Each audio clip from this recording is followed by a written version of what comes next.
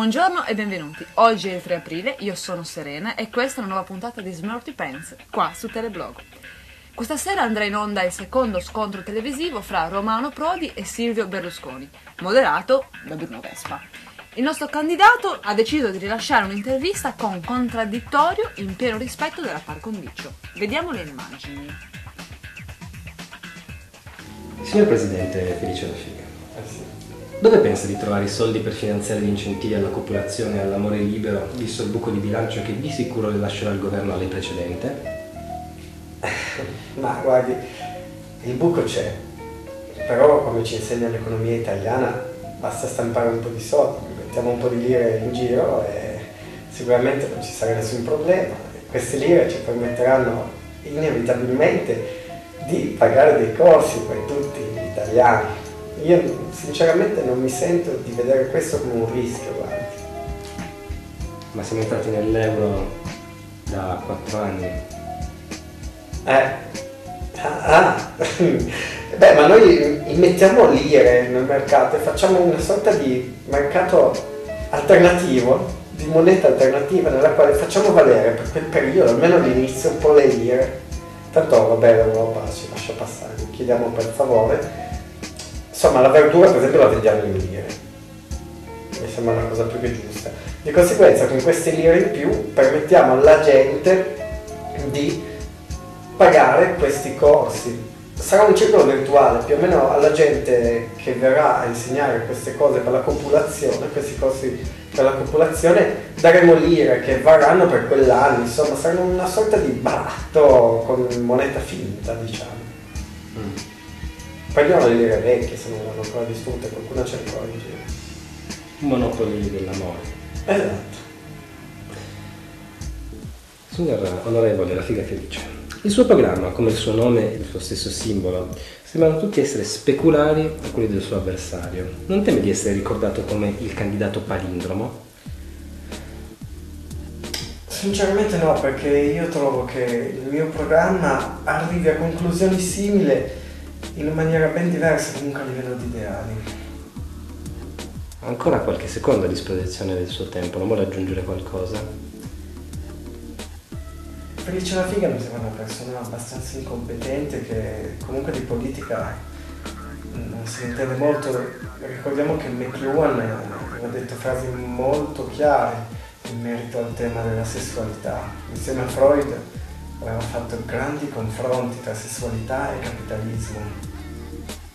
Lo spumante a capodanno per tutti non le sembra la solita misura una tantum che poi non ha una reale influenza sull'economia del paese? Allora, ma allora chiamarla una tantum mi sembra sbagliato perché semmai è una vulta ogni tantum, quindi qualcosa che comunque si ripete, una tantum è una cosa che succede una volta. Sinceramente no, perché io cioè, confido in questo fatto che noi aumentiamo di 3 euro 4 all'anno questa tariffa, diamo questo spumante, basta un niente per rendere felici gli italiani secondo me. È la dimostrazione che il governo sta pensando a loro. Una bottiglia di spumante ragazzi, una bottiglia di spumante, una cosa con una bella bandiera, una bella faccia di FLF, ovvero Felice la Figa, e l'augurio per tutti gli italiani a passare un anno migliore. Il punto di forza del programma del suo avversario, Felice La Figa, sono gli incentivi alla copulazione che hanno riscosso molto successo presso soprattutto l'elettorato giovanile e ancora in potenza. Ma ehm, che, come si pone questa cosa? Prevede anche lei degli incentivi un metodo per uh, un meccanismo economico per incentivare um, comunque i rapporti sessuali, insomma, da persone di ogni età? Mm, Ma guardi, mm, questi programmi di copulazione mi convincono sicuramente, infatti anch'io approvo questa idea, ma fino a un certo punto io presumo che più che corsi di copulazione si dovrebbe mm, agire sul campo, quindi io penso di girare porta a porta quasi per le strade e per le porte appunto, chiamandosi porta a porta, spiegando personalmente alla gente come copulare sia bello, magari anche con dimostrazioni pratiche. Questo comunque alleggerirebbe sicuramente la spesa economica che porta a questo e raggiungeremo comunque lo stesso scopo. l'impegno quindi fin d'ora agli italiani nei primi 100 giorni a portare questo risultato. E un'ultima domanda.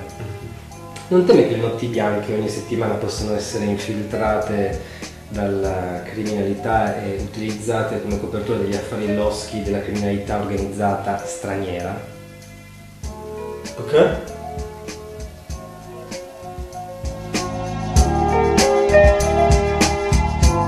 Un'ultima domanda.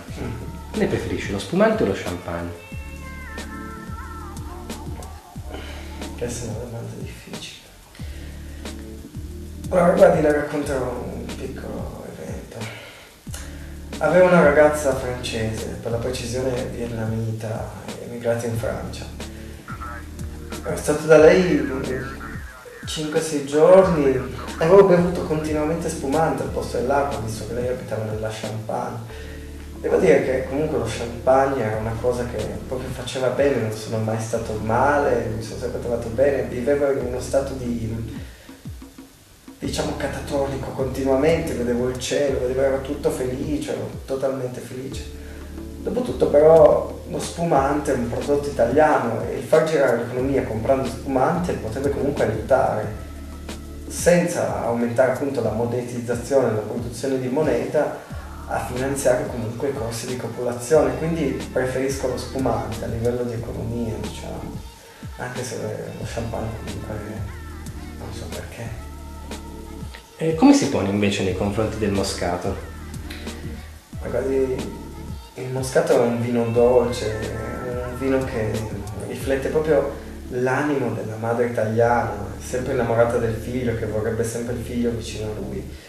Potrei dire vicino a lei. Potrei dire un vino stilnovista, parlando della poesia trecentesca.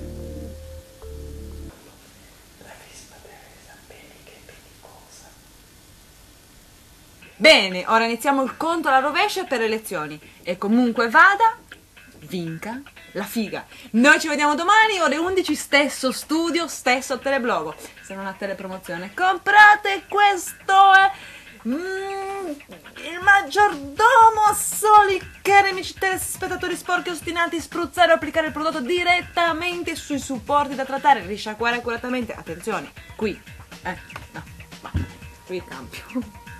Però, devo saputo dire, Beh, un appello a Silvio Berlusconi. Io ho la residenza ancora in Sardegna. Mi segue, signor ministro. Come lo chiama? Ministro, dottore? Che cosa? Chiamalo ancora presidente per poco. Silvio, così, Silvio, ne Sì. Silvio, bravissimo. Sì. Silvio, amico mio e degli altri. Io ho la residenza in Sardegna e per votarti dovrei prendere una nave, quindi un costo di circa 100 euro per raggiungere la Sardegna e votarti. Quindi a me chi mi ripaga di questo? Se tu vuoi che ti voti, io vado contro tutti i miei ideali politici, mi dai qualcosina, giusto 2, 3, 4 mila euro, posso anche votarti. Guarda che il viaggio è rimborsato. No, ti rimborsano il 60%. Ah, e quel sì, 40% io per lui non ce lo spreco. Pronti? No, lenta, spesso. Lunedì? Seria. Si parla di lunedì 3 aprile. sembrava l'amleto, sembrava. Ma cosa c'è? Io ho capito perché così. Perché? Se co- perché se parliamo di Prodi e Berlusconi bisogna pulire la società da questi due elementi di... di... Di? Brava, brava, sì, di. di. Brava, andiamo. Che arriva la querela, andiamo. Più impostati, più... Ecco, lì. mostriamo un po'... Che cosa? Che Spostati leggermente È di tutta imbottita. Oh, eh, vabbè, anche se tutta imbottita non sembra. Il nostro candidato non è stato invitato e ha deciso di rilasciare un'intervista con un co- Co- Coco Pro. Perfetto.